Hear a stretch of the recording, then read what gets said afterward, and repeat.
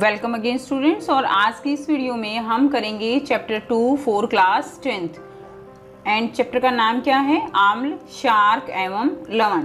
और जो chapter first है रासायनिक अभिक्रिया एवं समीकरण.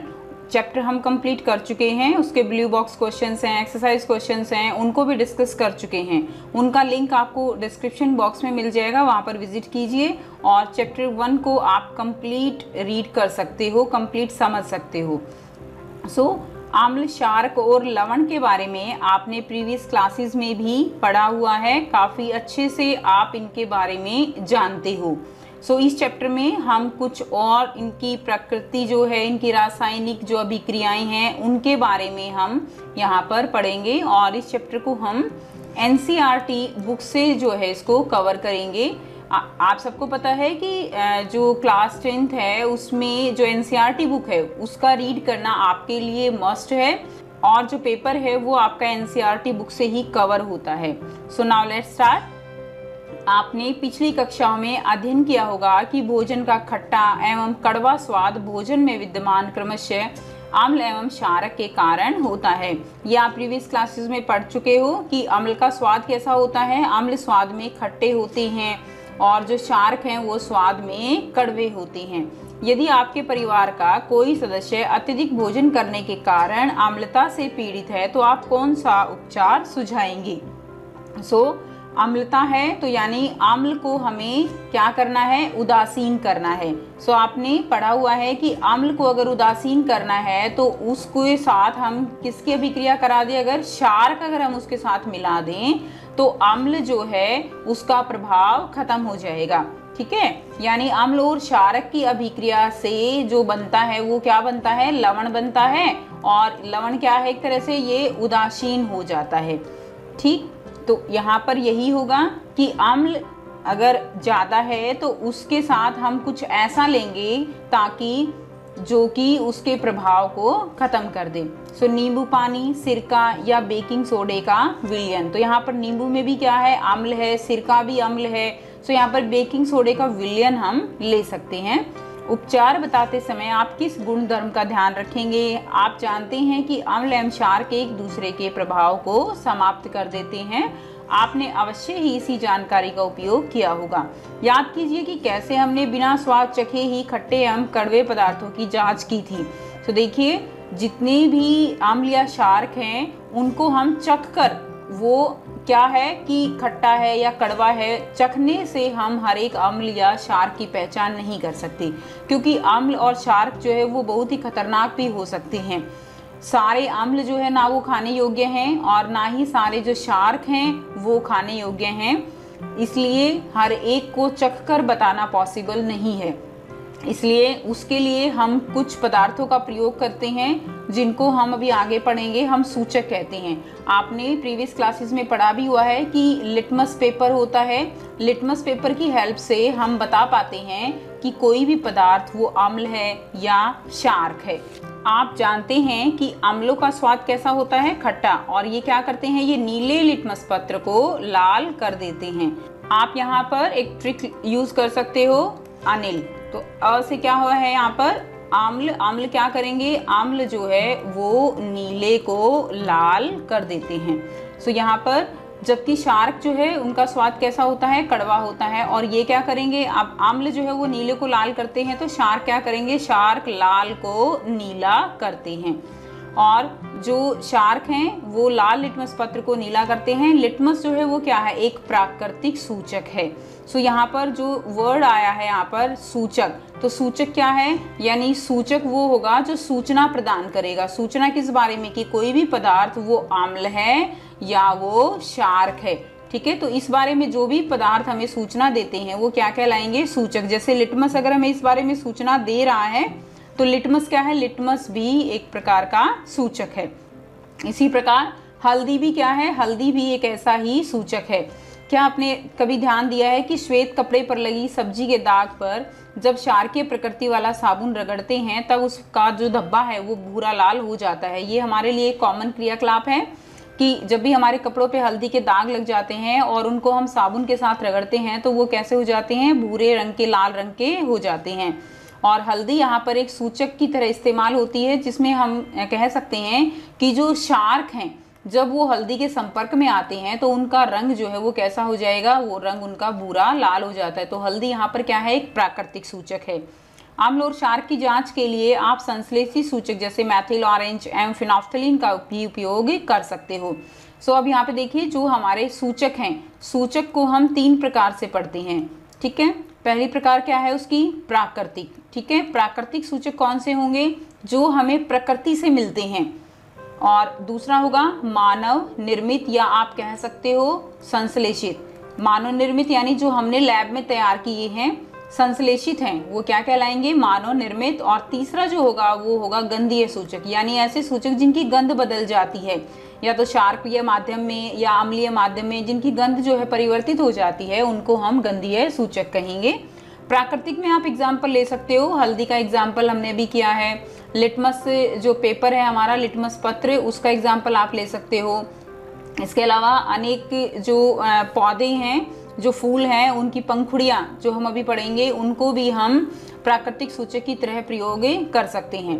मानव निर्मित में आप मैथिल ऑरेंज और फिनॉफ्थलिन, ये दो आपके सिलेबस में हैं। So methyl orange and phenolphthalein ये दो सूचक जो है, ये कैसे हैं? मानव निर्मित हैं। इस अध्याय में हम आम्ल एवं क्षारक की अभिक्रियाओं के बारे में अध्ययन करेंगे। हमें जानकारी प्राप्त होगी कि आम्ल और क्षारक कैसे एक दूसरे के प्रभाव को समाप्त कर देते हैं।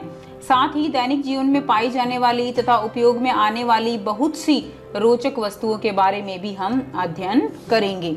लिटमस विलियन बैंगनी रंग का रंजक होता है, ठीक है? लिटमस विलियन उसे लिटमस पेपर भी तैयार किए जाते हैं और वो विलियन की फॉर्म में भी होता है। वो कैसे रंग का है? वो बैंगनी रंग का होता है, जो थैलोफाइटा समूह थैलोफाइटा समूह यानी आपने नाइन्थ क्लास में पढ़ा हुआ है कि जो सरलतम पौधे हैं, उनको थैलोफाइटा ग्रुप में रखा जाता है, जिसमें लीचेन यानी लाइकिन जो काई जैसे जो पौधे हैं, वो इसमें थैलोफाइटा समूह में रखे जाते हैं। उनसे ये लिटमस विलियन हमें मिलता है। और इसे हम सूचक की तरह उपयोग करते हैं।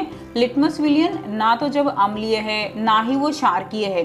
तब यह कैसे रंग का है? यह बैंगनी रंग का होता है। तो वन मार्क का क्वेश्चन आपके लिए काफ़ी इंपॉर्टेंट है कि लिटमस विलियन का रंग, जब वो ना तो अम्लीय है, ना ही क्षारकीय है तो उसका रंग कैसा है? बैंगनी रंग होता है। बहुत सारे प्राकृतिक पदार्थ जैसे लाल पत्ता, गोभी, हल्दी, हाइड्रेंजिया पेट्यूनिया जेरानियम जैसे कई फूलों की रंगीन पखुड़िया किसी विलियन में आम्ल एवं क्षार की उपस्थिति को सूचित करती हैं। तो ये सभी जो फ्लावर हैं, ये जो है, एक तरह से प्राकृतिक सूचक की तरह हम इनका इस्तेमाल करते हैं। इन्हें हम आम्ल क्षारक सूचक या कभी कभी केवल सूचक कहते हैं। नेक्स्ट आपको क्वेश्चन गिवन है सो ये ब्लू बॉक्स जितने भी क्वेश्चन हैं, उनको हम एक साथ डिस्कस करेंगे। नेक्स्ट 2.1 आम्ल एवं क्षारक के रासायनिक गुणधर्म समझना। तो इसके लिए हम एक क्रियाकलाप करेंगे कि किस प्रकार हम आम्ल एवं क्षारक के रासायनिक गुणों को समझ सकते हैं। नेक्स्ट क्रियाकलाप 2.1 गिवन है। विज्ञान की प्रयोगशाला यानी लैब से आपको हाइड्रोक्लोरिक अम्ल है सल्फ्यूरिक अम्ल है नाइट्रिक अम्ल है एच थ्री एसिटिक अम्ल C S three C W H sodium hydroxide N A O H ये सारे फॉर्मूले भी आपके लिए काफ़ी इंपॉर्टेंट हैं। का जितनी भी रिएक्शंस होंगे, उन सभी में हम ये जो भी हमारे अम्ल हैं शार्क हैं, उनके फॉर्मूले से हम रासायनिक जो समीकरण है, उनको लिखेंगे। तो फॉर्मूलेज आपके लिए काफ़ी इंपॉर्टेंट है। इनको साथ साथ आपको लर्न करना होगा। नेक्स्ट कैल्शियम हाइड्रोक्साइड का फॉर्मूला क्या है? C H whole twice potassium hydroxide K O H magnesium hydroxide M G O H whole twice and ammonium hydroxide N H four O H इनके नमूने हमें एकत्र करने हैं। ऊपर दिए गए प्रत्येक विलियन की एक बूंद को हमें वॉच ग्लास पर रखना है, फिर उनकी जाँच करनी है। और जाँच के लिए जो सूचक लेने हैं, वो लाल लिटमस लेना है, नीला लिटमस फिनॉफ्थलिन और मैथिल ऑरेंज सो आपको देखना है कि किस विलियन के रंग में क्या परिवर्तन आता है। सारणी 2.1 में जो भी प्रेक्षण है हमारे, वो हमें फिल करने हैं। सो इसमें ये सारे क्या हैं? ये सारे अम्ल हैं, ठीक है? हाइड्रोक्लोरिक अम्ल है सल्फ्यूरिक अम्ल नाइट्रिक अम्ल एसिडिक अम्ल। तो जो अम्ल है, वो क्या करते हैं? वो जो लाल लिटमस है, उसके विलियन में उसका रंग जो है, वो नहीं बदलता। तो वो लाल ही रहता है। और दूसरा है नीला लिटमस में क्या करेगा? जो आम्ल है वो नीले लिटमस विलियन को किसमें बदल देता है? लाल उसका रंग बदल देता है। सो so, यहाँ पर आप जो है एक ट्रिक और भी लर्न कर सकते हो बेलन। अनिल तो आपने कर ली साथ में बेलन भी कर सकते हो यानी जो बे बे यानी बेस बेस क्या है? यानी शार्क ठीक है? शार्क क्या करेंगे? शार्क लाल को नीला कर देते हैं। नेक्स्ट इसमें अगर आप देखोगे तो ये क्या है हमारा बेस है? ये सारे शार्क हैं। तो शार्क जो है वो लाल को क्या कर देंगे? लाल को नीला बदल देते हैं। नीले के ऊपर उनका कोई इफ़ेक्ट नहीं होता और वो नीला ही रहता है।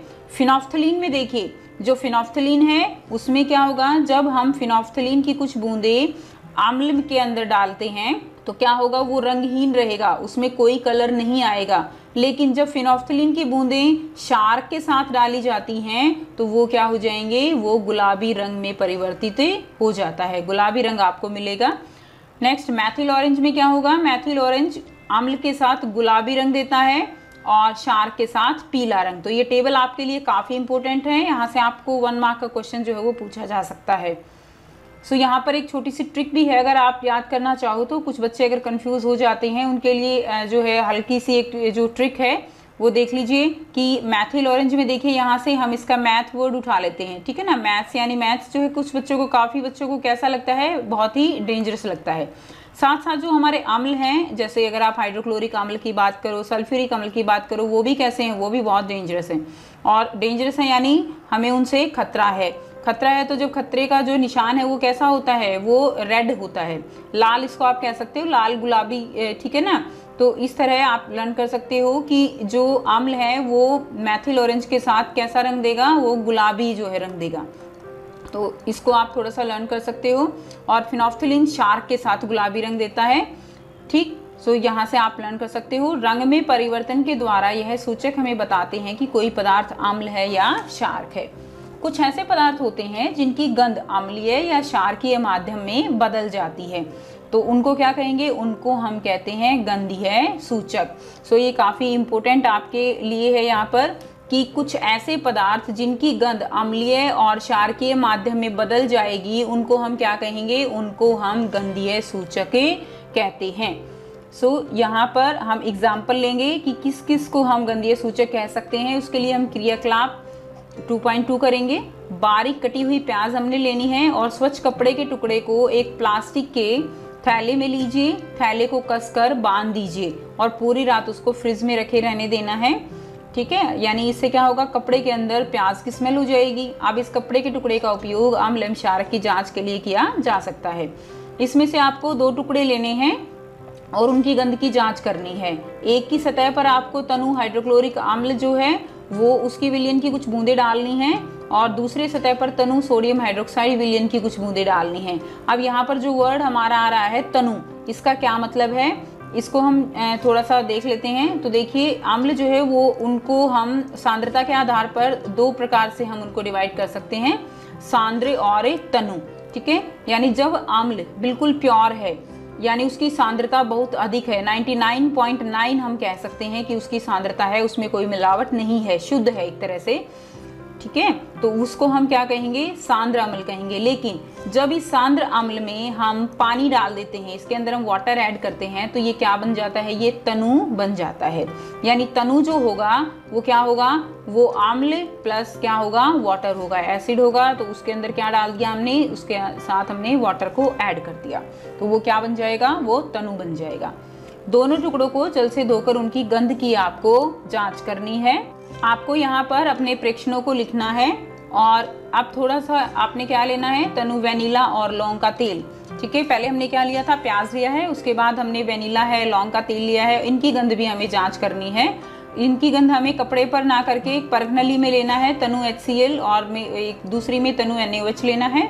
दोनों में जो वेनीला एसेंस है, उसकी कुछ बूंदे डालकर उसे हिलाना है, उसकी गंध की पुनः जाँच करनी है। यदि गंध में कोई बदलाव है तो उसको आप लिख लीजिए। इस प्रकार तनु हाइड्रोक्लोरिक आम्ल एवं तनु एनएच के साथ लौंग के तेल की गंध में आए परिवर्तन की जाँच का प्रेक्षण भी आपको दर्ज करना है। सो so, इस एक्टिविटी से जब आप जो है इसका निष्कर्ष निकालोगे तो आप ये देखोगे कि जब आप एन के साथ लौंग का तेल है या वेनीला है या प्याज जो हमने स्मेल देखी थी तो जो बेस है यानी शार्क है उसमें जो गंध है उसमें आपको परिवर्तन मिलेगा। ठीक है? सो यानी जो गंधीय सूचक हैं वो गंधीय सूचक बेस यानी शार्क के साथ मिलकर गंध में परिवर्तन करते हैं। सो so, ये भी एक तरह से सूचक की तरह ही हम प्रयोग कर सकते हैं। इसलिए इनको हम गंधीय सूचक कहते हैं। आपके परीक्षण के आधार पर वेनीला प्याज एवं लौंग के तेल में से किसे गंधीय सूचक की तरह उपयोग किया जा सकता है? सो इसमें तीनों को ही गंधीय सूचक की तरह इस्तेमाल किया जा सकता है। सो so, आम्ल क्षार के रासायनिक गुण धर्मों को समझने के लिए कुछ और क्रियाकलाप करते हैं तो ये टॉपिक हम नेक्स्ट वीडियो में करेंगे। यहाँ पर एक बार फिर से हम इसको रिकॉल कर लेते हैं। देखिए, हमने क्या पढ़ा यहाँ पर? हमने पढ़ा कि सूचक जो है, वो कितनी प्रकार के हो सकते हैं? सूचक तीन प्रकार के होंगे। सबसे पहला कौन सा होगा? प्राकृतिक सूचक होगा, जिसमें आप एग्ज़ाम्पल ले सकते हो। लिटमस का हल्दी है हाइड्रेंजिया के फ्लावर हैं चाइना रोज फ्लावर्स हैं, उनको भी हम सूचक की तरह इस्तेमाल करते हैं। दूसरा एग्ज़ाम दूसरा जो इसका प्रकार होगा, वो क्या होगा? मानव निर्मित यानी संश्लेषित, हम किसको कहेंगे? जिसमें आप एग्ज़ाम्पल फिनॉफ्थलिन और मैथिल ऑरेंज का ले सकते हो। मैथिल ऑरेंज अम्ल के साथ गुलाबी रंग देता है और शार्क के साथ पीला रंग देता है। नेक्स्ट अगर हम बात करें तो थर्ड टाइप है गंधीय सूचक। गंधीय सूचक कौन से होंगे? यानी जिनकी गंध बदल जाएगी। किसी भी माध्यम में उनकी गंध बदल जाती है, जिसमें हमने प्याज है, लौंग का तेल है, वेनीला एसेंस है, उनका एग्ज़ाम्पल बढ़ा। सो आई होप आपको ये टॉपिक क्लियर हो गया है। फिर भी अगर कोई प्रॉब्लम है, आपको नहीं समझ आता है तो आप कमेंट करके पूछ सकते हो। और जो भी इसके क्वेश्चन हैं, उनको हम एक साथ स्टडी करेंगे। सो आई होप आपको वीडियो अच्छी लगी और थैंक्स फॉर वॉचिंग